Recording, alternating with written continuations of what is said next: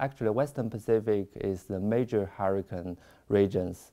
It's, it's, it's, um, it's developed uh, much more hurricanes than, than, than uh, Atlantic Ocean. So Western Pacific, especially China, Thailand, and uh, uh in, the, uh, in the Asian coast, it's a major, uh, major places suffered from hurricanes. There's only I don't know, 10 or 12 average hurricanes in the Atlantic on an annual basis.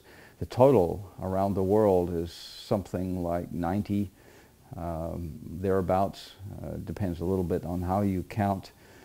In the west, western Pacific, in, in, the tropical regions, in the regions which are affecting uh, the Philippines and Vietnam and China and Taiwan and Japan, uh, all of these regions, even maybe as far as north as um, Korea in, in some cases.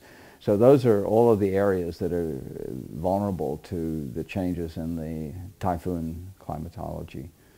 But the good thing is China, China uh, government now is very supportive for climate, ch climate change studies. And so we have a lot of fundings now to, uh, to, to study the climate change, study the hurricane, and to uh, prevent the, the, disasters by the hurricanes. So it's, it's really good news for us and uh, for the people living in the Asian regions now. Ch China government is really, really powerful government and uh, uh before the hurricanes, before the tropical storms, uh, the government will uh,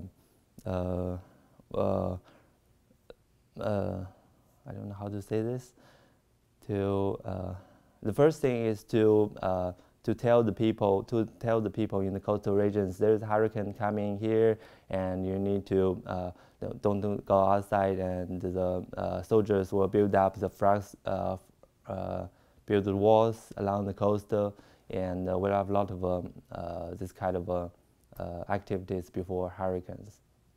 Okay. Yeah. Okay. And evacuation? Yeah. Yes. Evacuations. Yeah. Ah, that's it. that's it.